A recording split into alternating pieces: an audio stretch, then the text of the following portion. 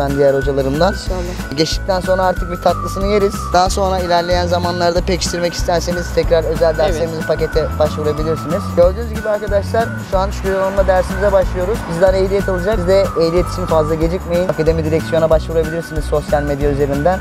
Herkese iyi günler diliyoruz.